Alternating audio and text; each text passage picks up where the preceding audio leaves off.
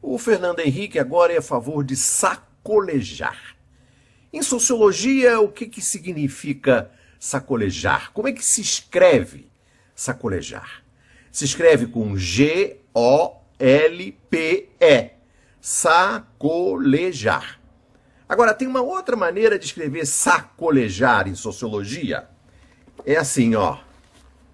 Sacolejar significa a história secreta de como o Brasil perdeu seu patrimônio e Fernando Henrique Cardoso ganhou a reeleição. Sacolejar.